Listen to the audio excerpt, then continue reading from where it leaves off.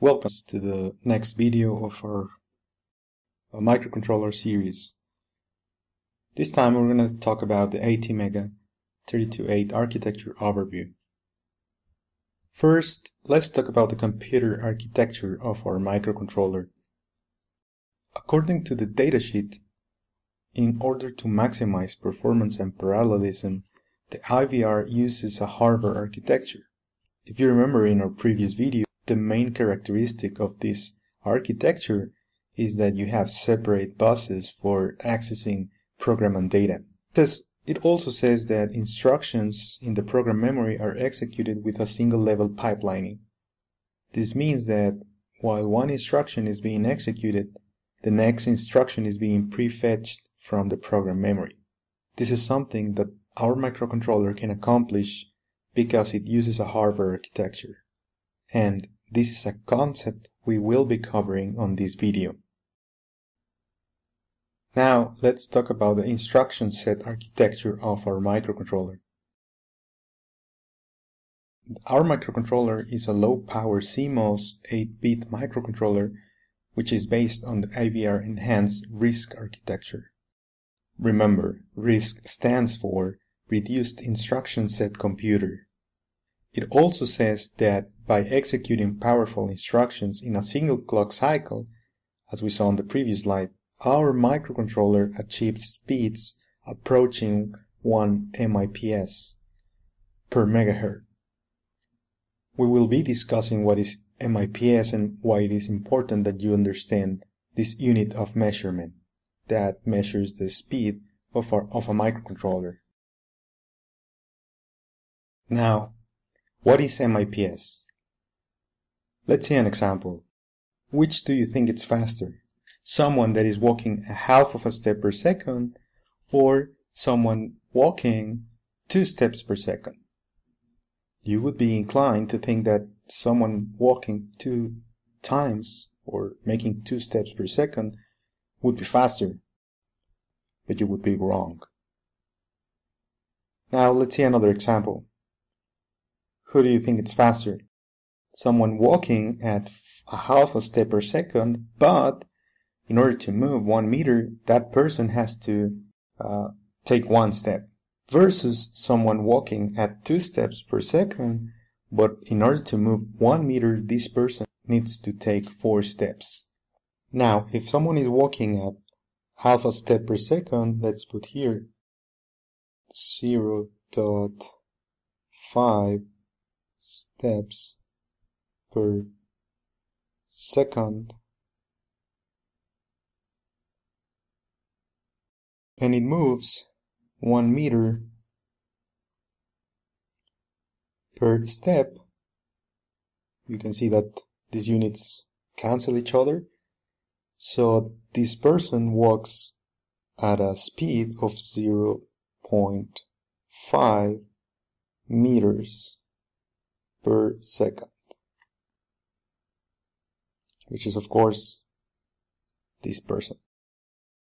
The second person moves at two steps per second, two steps per second. But in order to move one meter, uh, this person needs four steps. So in one meter, this person needs four steps. Again, the units cancel each other and you can see that 2 divided by 4 it's actually also 0.5 meters per second. It means that the velocity of both persons is equal. So what is MIPS? Similar to the example that we saw previously, it is a more accurate way of describing speed.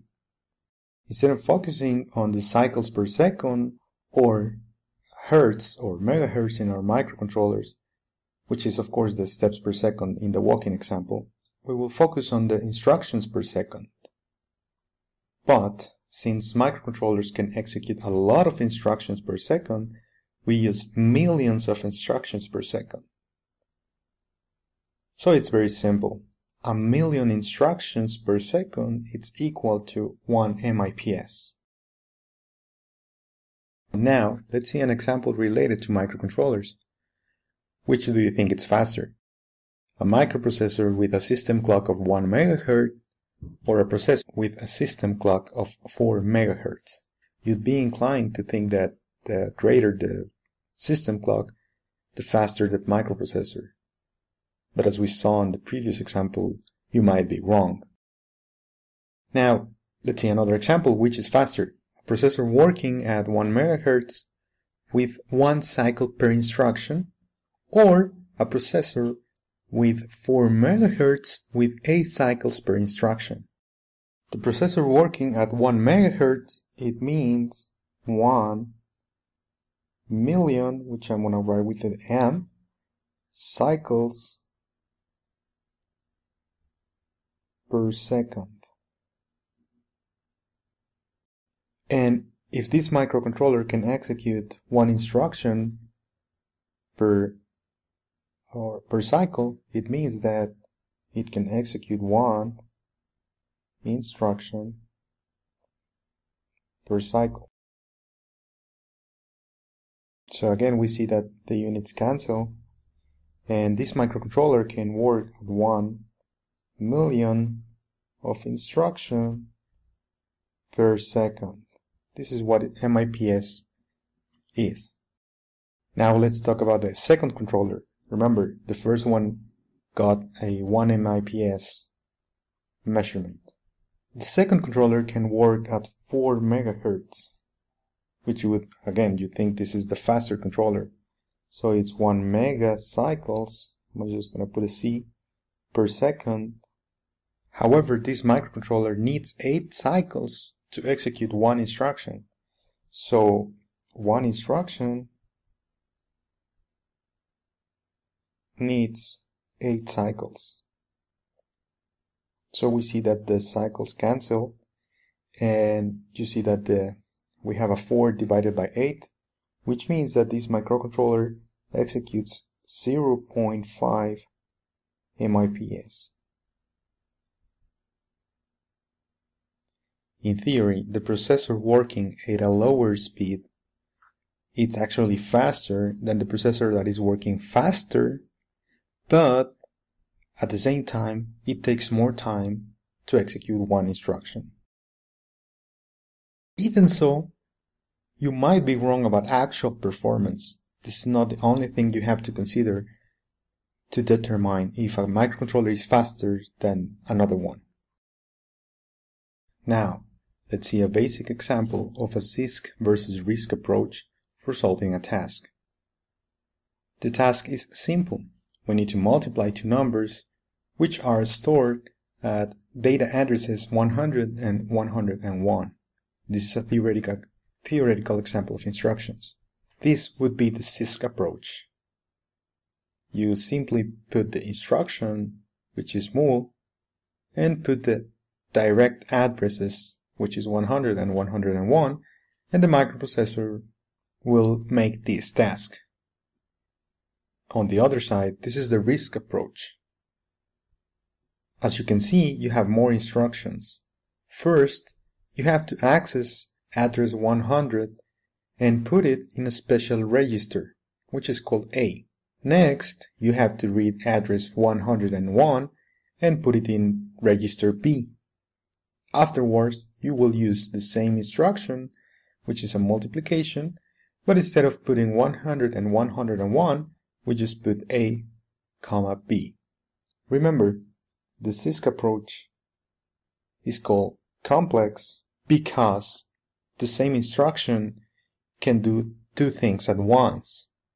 The first is access the addresses directly and the second one is performing the multiplication. However, the RISC approach we need to do these two steps separately. Now let's see these two examples and see which of the two processors are faster. These are the two approach. So imagine that the CISC processor is working at 0.5 MIPS at 4 MHz. What is the time to execute this instruction? To calculate the time, we have 0.5 times 10 to the power of 6, which is the million, of instructions per second. And as we can see, we have only one instruction. So all we have to do is take the, its invert this value and we would have 2 times 10 to the power of minus 6 seconds. 40 seconds per instruction. 2 to the power of minus 6, it's 2 microseconds. Now, let's assume that the microprocessor that we have that has the RISC approach, it's working at 1 MIPS in, at 1 megahertz. What would be the time to execute this, these three instructions? So, if we have 1 MIPS, again it's 1 times 10 to the power of 6 instructions per second. If we invert this value, we have that every instruction needs 1 times 10 to the power of minus 6 seconds per instruction. So in order to execute the three instructions, you would need three microseconds. And for the other controller, if you remember, we had two microseconds. So of course, this would be faster. Now let's talk about the microarchitecture of our microcontroller. If you remember in our previous video, we said that the microarchitecture is the block diagram of how our microcontroller is built. This is the block diagram of our microcontroller. First, we will be covering the top part and, and then we will see the bottom part of this microarchitecture. First, let's start with the CPU. This is the CPU. Remember, is the central processing unit, which is where all the instructions are executed. And one thing that I want you to notice is that the CPU has a direct connection to the flash and to the SRAM. The SRAM stands for static RAM. The flash is where the instructions are stored and the RAM is where the temporary data is stored. So as you can see, we have two different paths for instructions and data. This is why this microcontroller is based on Harvard. Next, I want you to see this part. This part is the supervision for the power. Uh, the BOD stands for brown out detection, and it means that the microcontroller can detect when the voltage is dropping and do something if this happens. Over here we have the oscillator, which is the system clock of our microcontroller. Over here we have a watchdog oscillator and a watchdog timer. This is a peripheral of our microcontroller that allows us to monitor if the microcontroller is working properly. Another thing that we can see here is the EEPROM. This is also used for data. The difference between RAM and EEPROM is that Data at RAM is lost if the power of the microcontroller is lost. However, data in the EEPROM is stored permanently until we want it to. Now, let's see the bottom part of the architecture of our microcontroller. Again, this is the CPU. Uh, you can see that we have a shared bus, which is the one I'm going through, is the one that is with gray and notice that is there's a single line connecting everything.